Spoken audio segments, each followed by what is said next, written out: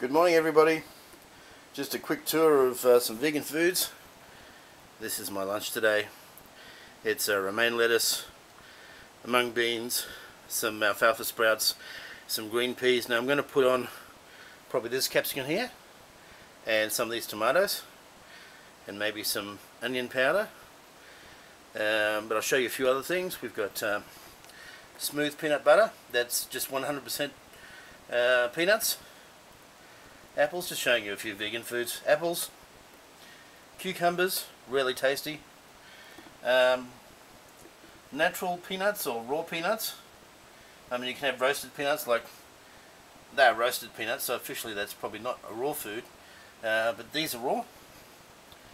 You've got uh, some chili peppers, organic sultanas, dates, pitted dates. You've got um, mandarins here. Bananas, now I've got a lot more bananas than that, but as you can see, these bananas here are looking close to ripe. So very nice bananas. Red onion. These are blueberries. We've got uh, some cherry tomatoes, avocados, the capsicum as I mentioned earlier. Uh, you've got your tomatoes, strawberries, and raw corn. So apart from the condiments there, I mean basically everything here is raw vegan except for the peanut butter which has got roasted peanuts in it. So just giving you a look.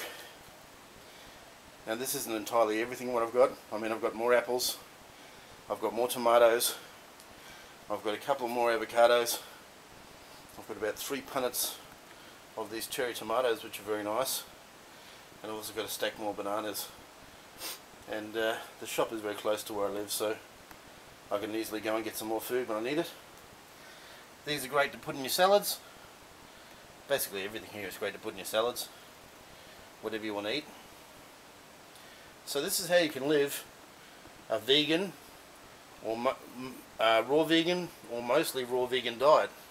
As I said, that's the only thing that isn't 100% raw vegan there. Everything else is 100% raw.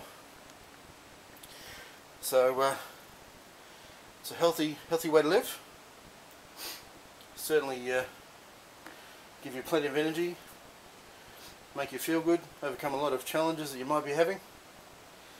And uh, for me the main benefit is to give me plenty of energy, make me feel good.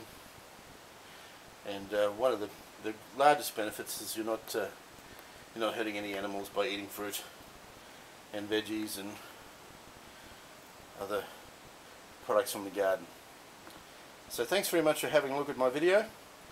Please hit the subscribe button, the like button, and uh, or the dislike button if you don't like fruits and veggies. Either way, I mean, I fully understand. I came from a diet that uh, wasn't 100% fruit and veggies. But uh, I can tell you what, the diet that I'm on now, it's so enjoyable. I mean, just simple foods that uh, nature provides. And uh, if you put them in the right combination they can be extremely enjoyable. So have a great day, thanks very much for watching and uh, I'll see you in the next video. Thanks guys.